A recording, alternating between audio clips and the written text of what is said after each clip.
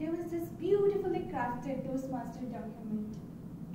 She was like, hold on sister, what do we do to the God of surrender? Not today. Answer these 48 questions and then we will help you find a leadership style. So I went through that document, answered all the 48 questions one after another until the last one. Still clueless. So I calculated the points I achieved for each of the leadership style and it happens that the points that I secured for each of the leadership styles were more or less the same. So I formed an opinion that you don't tag a person with one particular leadership style. It could be numerous leadership styles, but you apply them in the right place and the right time. So before I even go further discussing various leadership styles, let's talk about leadership first. Leadership. It's a very subjective topic. All of us, all of us have an opinion on it. I had this question in mind. Is there something called a bad leadership? Most of us are thinking, yes, they do. You might be thinking of the examples like Hitler, Stalin, or Saddam Hussein, and who not. Some of you might even be thinking of those, some of those managers that you worked with in your corporate career. Yes. But the only question I have is that, were they even leaders in the first place?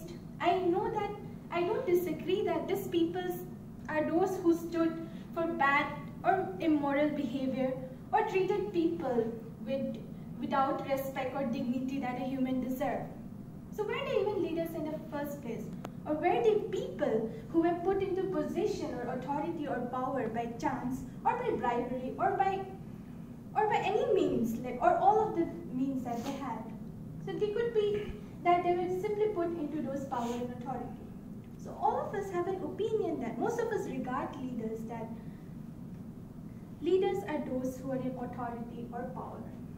If that is the case, Kim Jong of North Korea, he is such a successful leader then. But the so-called leaders might put their country in a worse position than what it was in the past. So leadership is not about an authority or power. It could be something about a vision. Let's take for an example, Nelson Mandela. He is a celebrated leader, even long before he became the president, and he successfully overturned apartheid. Not to forget Mahatma Gandhi. He successfully sent back the British from India without even firing a bullet. Their impact was so profound that we still regard them as the leaders, great leaders of all time. So my point is that leadership is not about authority.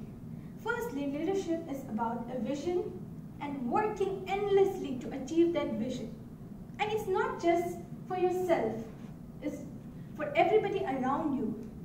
Everybody around you, helping them to grow forward in their life, creating a better impact. This is what leadership is about. If a leader just works to get elected in an election or maybe to just move to the next level, then you're not a leader. A leader should have a clear vision of what to do next and what to do to create a better future and also have ethical, you know, ethical values. So it's values plus a purpose. So moving on, now that I told you about leadership, let's talk about leadership styles. I'm going to talk to you about two leadership styles because I don't have enough time. But let me tell you beforehand that there, there were like eight leadership styles mentioned in the document.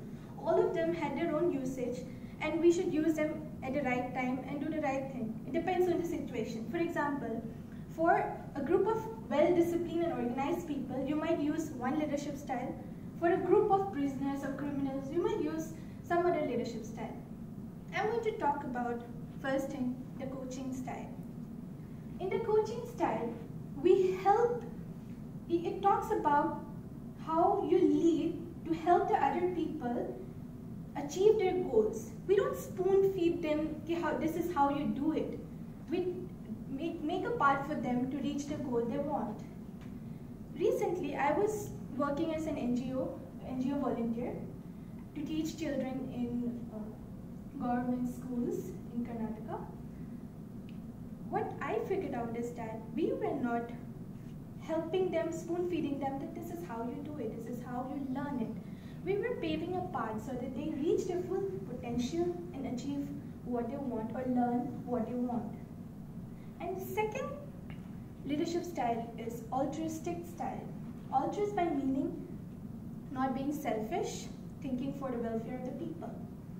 So this kind of leader with this style works to, uh, works to kind of bring up the need to bring up and solve the needs of every individual in a team. Right.